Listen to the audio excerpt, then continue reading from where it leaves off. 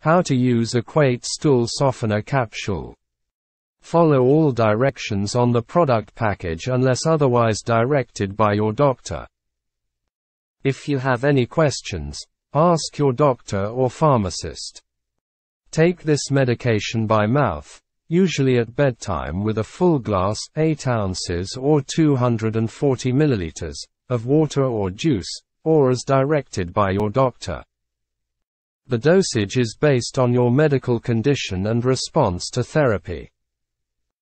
Decrease your dose or stop taking this medication if you develop diarrhea.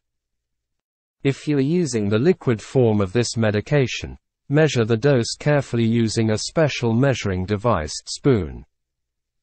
Do not use a household spoon because you may not get the correct dose.